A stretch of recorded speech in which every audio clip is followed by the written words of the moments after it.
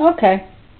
Well, our meatless, couple of meatless days failed because on Friday I made uh, oxtail stew. And the leftover bones I've been cooking for a couple of days. I keep adding water because usually I can get some nice stock, a small quantity of stock out of such things. I hate to throw good bones away, you know. Got some oil and butter heating up. This is probably going to be, and yesterday was Blanquette de Veau, which came out fantastic. Now, today's probably going to be a, a vegetable lunch. And these are gomba.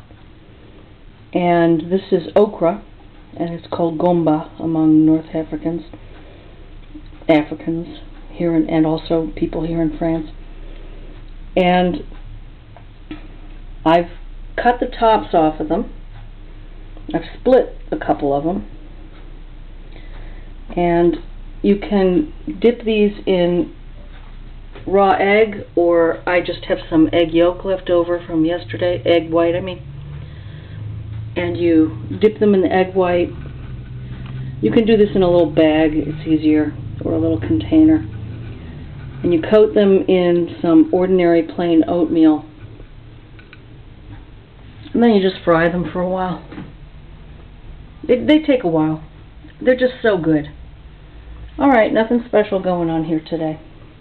Bye.